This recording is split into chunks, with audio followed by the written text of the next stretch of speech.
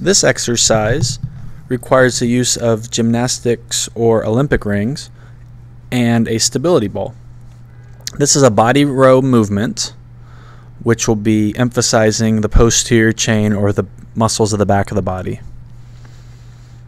So during this movement, I'm accelerating on the way up and decelerating on the way down as I lengthen my body.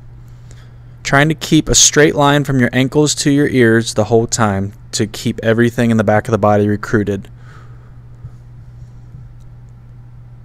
This will be great for strengthening up all the back of your body and all your postural muscles. So when you freeze, you can see the whole body is lengthened out completely. And then when you slow it down to half speed, you can see that my elbows are coming back behind my body to get my shoulders and back and upper back muscles fully recruited. And then as I'm shooting out, I'm slowing my body down and then accelerating on the way back up. This next level progression requires a little more balance, a little more core stability. By going onto one leg, you're more maximally recruiting the weight bearing leg, trying to keep the body as erect as possible. It's a little bit tougher with one leg.